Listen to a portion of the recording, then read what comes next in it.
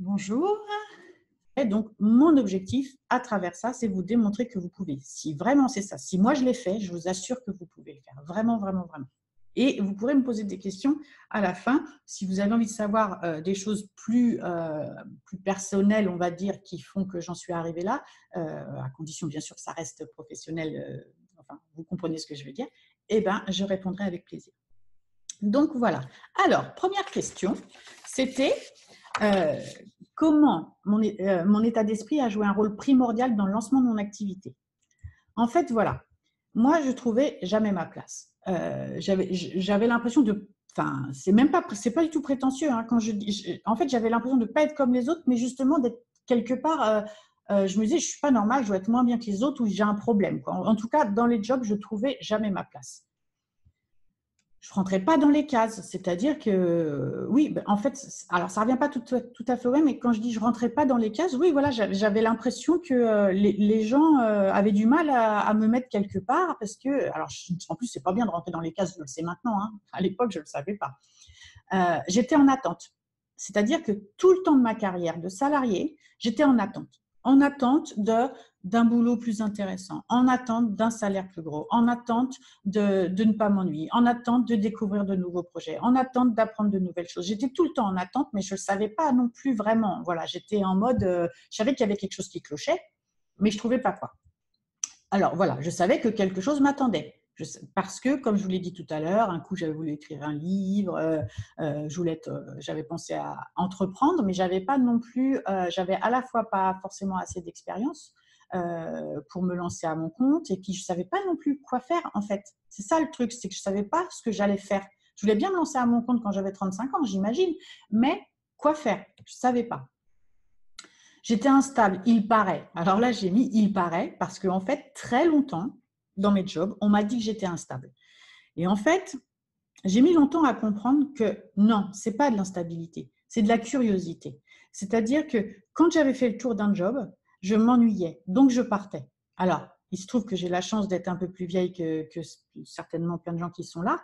Euh, il y a eu une époque où en fait on pouvait partir plus, on pouvait trouver du travail. Moi j'étais très longtemps assistante de direction et il y a eu une époque où on trouvait assez facilement du travail. Donc dès que je m'ennuyais, off, je partais. Donc les gens disaient j'étais instable. Bon, voilà, moi je veux bien, euh, je veux bien, mais j'ai découvert depuis qu'on est, que c'est pas de l'instabilité, c'est de la curiosité. Dans la société d'aujourd'hui, c'est plus facile finalement. Donc j'étais curieuse. Voilà, ça c'est vraiment le, voilà, la chose, c'était ça, c'est que j'étais curieuse.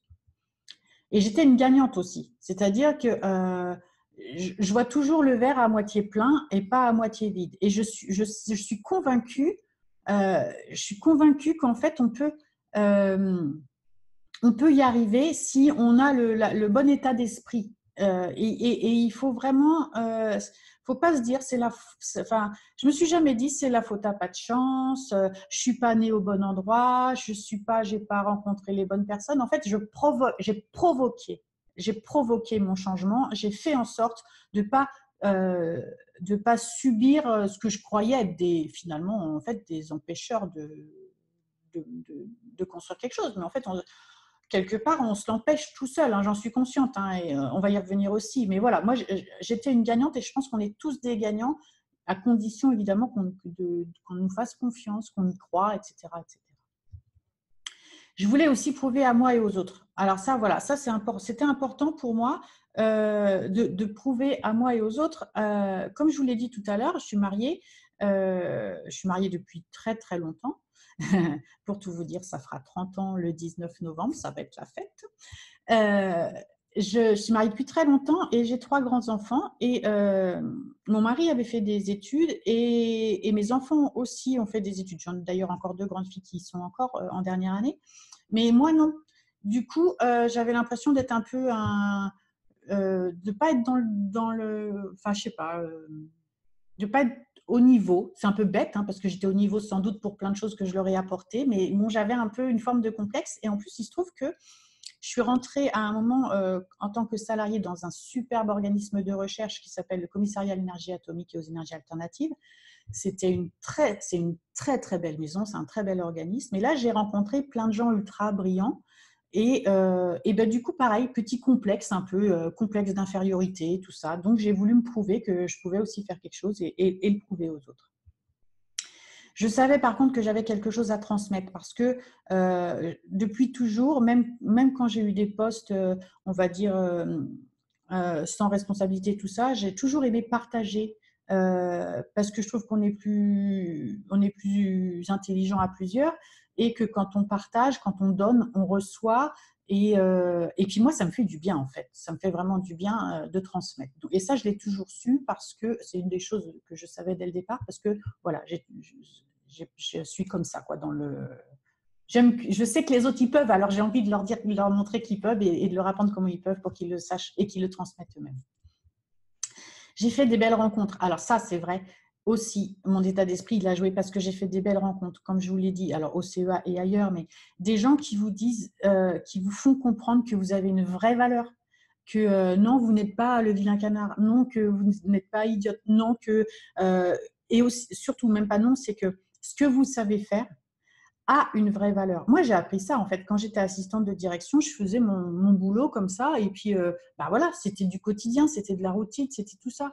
Et puis alors, bon, je, faisais les choses et puis euh, moi j'avais je trouvais ça bateau. Donc euh, les, gens qui pour qui je travaillais me disaient mais non tu te rends pas compte il y a plein de gens qui ne savent pas faire ce que tu fais. Donc tu as de la valeur. Il y a des gens qui savent faire d'autres choses que ce que moi je savais faire. Mais moi il y a des choses que je savais faire que d'autres ne savaient pas faire. Et donc en fait on m'a appris on m'a appris à à tirer de moi en fait ce que je sais faire. Et petit à petit comme ça j'ai pris confiance euh, j'ai vraiment pris confiance grâce à des personnes qui m'ont fait comprendre que voilà, j'étais quelqu'un aussi qui avait de la valeur et qui était capable de faire des choses. Ça, c'est écoutez-les, ces gens-là qui vous disent que vous pouvez, écoutez-les, d'accord? Et est-ce que j'y croyais? Ben oui, en fait, oui, j'y croyais. Voilà, toujours le verre à moitié plein, j'y croyais. Donc, euh, à partir de là, j'ai mis en œuvre ce qu'il fallait euh, pour que ça fonctionne.